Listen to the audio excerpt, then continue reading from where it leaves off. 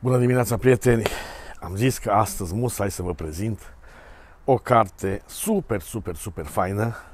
Aș scrie cu majuscule cuvintele astea, super, super, super faină. Este o carte despre Gingis Khan. Da? La prima vedere, ce ne interesează pe noi despre Gingis Khan? Ce vrem noi să aflăm despre, despre uh, imperiul ăsta extraordinar care a cucerit în 25 de ani mai mult decât a cucerit Imperiul Roman în 400 de ani.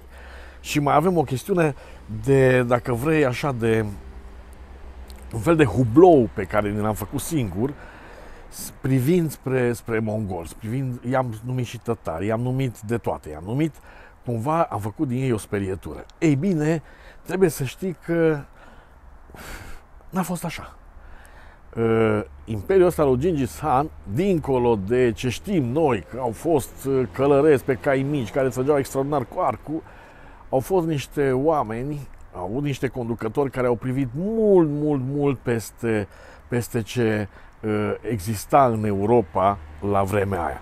Și e cu atât mai faină cartea asta, cu cât discutăm despre uh, uh, un Gingis Khan care, dincolo de de, de violența specifică vremurilor cu care a, uh, um, cu care a luptat, dacă vrei, da, cu care și-a făcut imperiu, discutăm despre, despre un om cu vederi, cu vederi infinit mai progresiste decât uh, uh, contemporanii epocii sale. Adică, eu o să vă citez aici, gândiți-vă că au abolit tortura, a conferit uh, libertate de plină tuturor cultelor religioase și a anulat privilegiile aristocrației specifice sistemele, sistemelor feudale. Da? Uh, de exemplu, ei au venit pentru prima dată și au spus foarte clar uh, un sol da? nu poate fi ucis atunci când aduce o veste, indiferent cât de rea este.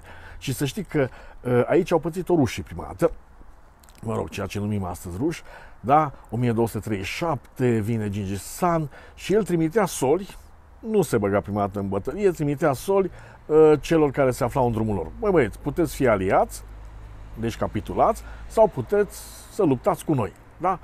Uh, pe drum, uh, rușii, de exemplu, omorau solii. Și atunci, ce să vezi, uh, erau trecuți prin sabie. Însă, cartea este extrem de importantă pentru că reface imaginea absolut contaminată uh, despre, despre Gingis Khan. Da? Uh, și uh, unul dintre întemeietorii literaturii engleze, Chaucer, da? spune în cărțile lui și laudă Imperiul Mongol. Dacă vrei, obiceiurile lor, modernitatea lor, după aia s-a întâmplat un fenomen extraordinar. Lumea a început să privească cu, cu teamă și din teama asta s-a născut un fel de, sau s-a născut imaginea mongolului care trece prin foc și prin sabie și devastează tot și așa mai departe. Nici gând. În primul rând, și zice, zice Wetterhort, da, Imperiul Gingis Khan a adus la oaltă și a amestecat numeroase civilizații din vecinătatea lui, dând naștere unei noi ordini mondiale. Da? În 1162, anul nașterii lui, lumea veche era alcătuită într-o serie de civilizații care nu știau nimic despre nimeni, despre nicio altă lume aflată dincolo de granițele vecinilor imediați. Ce face Gingis Khan? Practic, uh, acum o să sune cumva ciudat, Uh, globalizează economia, da? deschide drumuri, uh, uh, obligă, obligă țările aflate la mai mică sau mai mare depărtare, depărtare să colaboreze, să, să aibă schimburi economice, schimburi culturale extraordinare. La, zice la un moment dat, da, ei au fost cei care au adus mineri germani în China și medici chinezi în Persia. Uh, Mongolia au deschis în mod deliberat lumea către un nou tip de schimb, nu doar cu bunuri, ci și cu idei și cu cunoștințe. Adică, uh, în momentul în care cucereau, vorba vine, ceilalți capitulau, da, în fața lor, aduceau meșteșugari. Uite, îți aduc meșteșugari din China în nu știu unde, din, uh, nu știu, meșteșugari germanii duc în China. De ce? era o epocă pur și simplu închisă. Fiecare stătea în bula lui și avea impresia că este un, un, un cuceritor în sine. Nici gând. Abia cu Gingis Khan s-au, s-au amestecat, dacă vrei, nu neapărat neamurile, ci și ideile. Și erau de o modernitate extraordinară uh, în toate. Adică înțelegeau foarte bine uh, libertatea religioasă. Uh, nimănui nu ia, uh, nimeni n-a fost obligat să se închine la ce se închinea mongolul, ci pur și simplu aveau tehnica asta, dacă vrei, uh, cum să zic, de, de tehnica asta statistică a Imperiului. Eu stăpânesc acolo, îmi dai uh, un tribut și cu asta basta. Ești liber să faci ce vrei. Foarte fain, uh, uite, zice, în perioada renașterii, influența mongolă pare să fi schimbat fie ce aspect al vieții pe continentul european. Tehnologia, războiul, îmbrăcămintea, comerțul, mâncarea, arta, literatura și muzica. Da? Pe lângă noile tehnici de luptă, mașinării și alimente exotice, Până și cele mai mundane aspecte ale vieții de zi cu zi au suferit schimbări, europenii trecând la țesăturile mongole și îmbrăcând pantaloni și jachete în locul tunicilor și robelor de odinioară, cântând la instrumente muzicale cu arcușul adus din stepe, în loc să ciupească corzile cu degete și pictându-și tablourile într-un stil inedit. Inclusiv acea exprim, uh, exclamație pe care o auzim astăzi peste tot în lume. Ura, ura, ura este uh, un strigă de bravadă și îmbărbătare reciprocă luată de la mongoli. Adică sunt niște lucruri așa de faine încât zici, bă, dar noi ce am învățat? Și aici, de exemplu, putem face o paranteză, inclusiv la noi, la români. Există acea jenă care există peste tot, de a recunoaște uh, uh, legătura cu mongolii. Uite, de exemplu, Isaccea, da? acolo, lângă Delta, uh, a fost capitala unui hanat mongol. 1200 și. Da? Ă, noi cumva ne ferim de asta ca să nu, să nu zică cineva că voi sunteți urmași sau nu sunteți urmași, să nu avem nicio legătură cu ei. Ei bine, ă, după ce citești cartea asta, o să-ți dai seama că ă, nu există, nu există o fericire în a-ți renega rădăcini, legături, apropieri istorice cu altă civilizație. Din potrivă, fiecare ciocnire a civilizațiilor a adus pe lângă luptele inerente, capitulările, trecerea prin sânge, etc., etc., etc., au adus și lucruri care s-au, dacă vrei, s-au înstăpânit fericit în locurile alea uh, uh, unde au avut tot felul de, loc, tot felul de grozăvii. Și uh, Chaucer, săracul, da, englezul Chaucer, credea că lăudând ce a văzut el acolo, lauda asta se va duce peste viacuri. Ca orice om care, care e foarte bine pe picioarele lui în literatura mondială, o așa a crezut el. Nici gând, nici gând. Și uite ce s-a... Uh, uh, mongolii sunt deja un fel de, da, cum zice noi, biciul lui Atila. Da. Uh, că Rusia n-a mai putut ține pasul cu tehnologia occidentală sau n-a mai putut ține piept forței militare a Japoniei imperiale, motivul invocat a fost teribilul juc tătărăs pus pe grumazul țării de Gingis Khan. Când Persiu a ajuns în urma vecinilor săi, motivul a fost acela că mongolii distruseseră sistemul de irigații. Când China au rămas în urma Japoniei și a Europei, a dat vina pe crunta exploatare și represiunea țării de către mongoli. Când India a capitulat în fața colonizării britanice, de vină a fost lăcomia rapacea dinastiei mongole.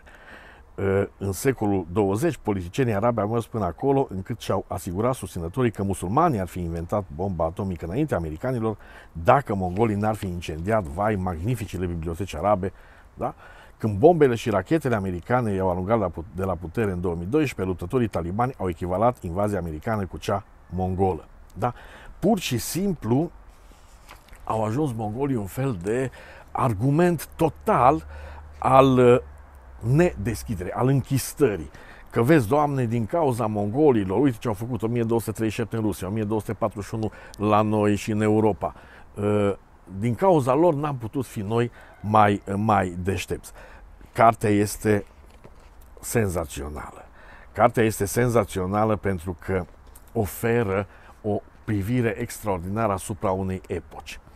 Uh, ei aveau un sistem Uh, uh, da, acum l-am numit nomad, dar era foarte fluid, foarte mobil, foarte, foarte volatil. Da?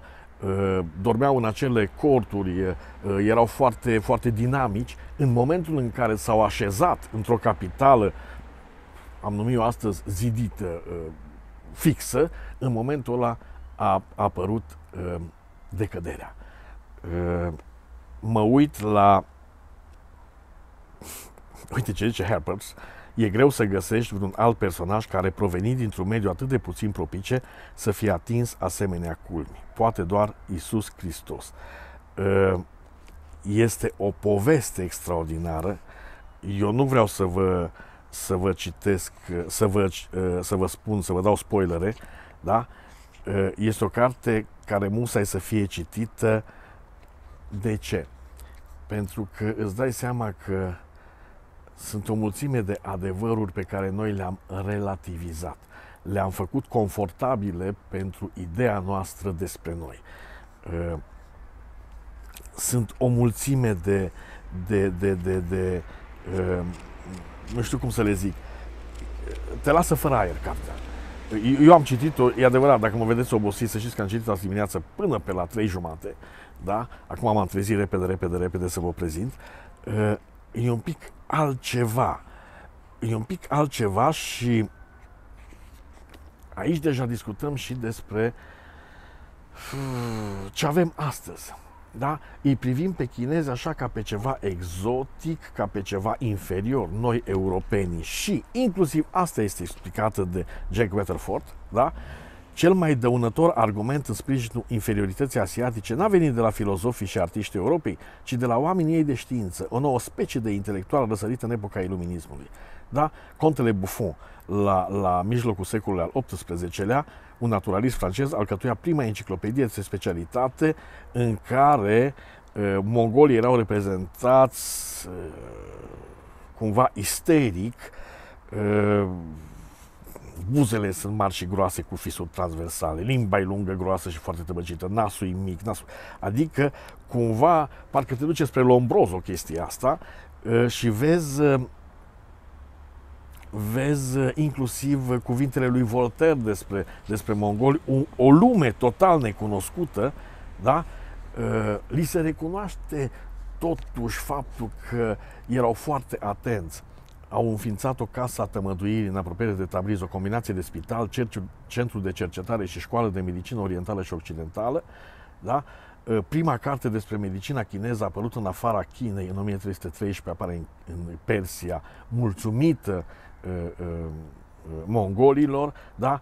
Acupunctura, iarăși, uh, este, dacă vrei, um, promovată de, de mongoli. Este o, asta este o carte pe care musai să o citești, este o poveste. Este o poveste necunoscută despre oameni des, ă, ă, ă, despre care ai auzit o grămadă de lucruri rele. Și dintr-o dată vezi că, mă, există o istorie, există ceva ce nu mai poate fi băgat sub preș. Dar asta e o chestiune faină, nu, nu-ți dă nici sentimentul ăla de nedreptățit, nu-ți dă nici sentimentul ăla de frustrare, te bucură pur și simplu ca un pahar de, la de, de vin bun la o poveste cu prietenii este, cred că, uh, puf, nu pot să spun cea mai bună carte pe care am citit-o în ultima vreme, pentru că am citit uh, uh vreo 10 cele mai bune cărți în ultima vreme. Și o să le prezint încet, încet toate, pe toate. Știi de ce?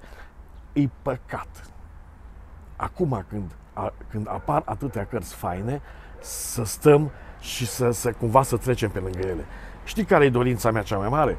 Să am patru ochi, patru mâini, două creiere și să pot citi măcar două cărți odată. V-am pupat. Să aveți poftă bună la cafea.